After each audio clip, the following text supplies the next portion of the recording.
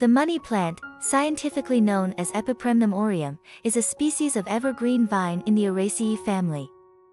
It is native to Southeast Asia and is widely cultivated as an ornamental houseplant worldwide. The leaves of the money plant are heart-shaped and glossy with variegated patterns of green and yellow. Some cultivars may have additional white or silver markings on the leaves.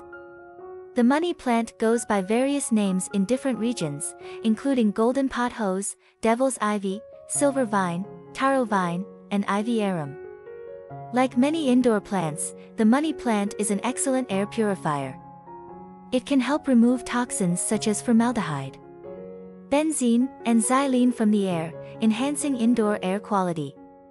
Money plants are well suited for indoor environments, as they can tolerate low to moderate light conditions.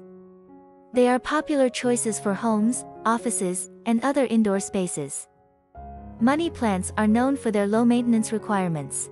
They are relatively easy to care for and are perfect for beginners or busy individuals. Propagating money plants is simple and can be done through stem cuttings.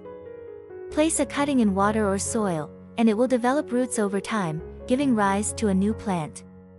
Money plants are trailing vines that can climb and spread if provided with support. They are often grown in hanging baskets or allowed to cascade from shelves and elevated surfaces. While money plants are generally considered low toxicity, they are still not safe for pets if ingested in large quantities and are not as harmful as some other houseplants. In some cultures, the money plant is associated with good luck, prosperity, and wealth. It is believed that having a money plant in your home or office can bring financial fortune and positive energy. Remember that while money plants are hardy and forgiving, they still require proper care to thrive.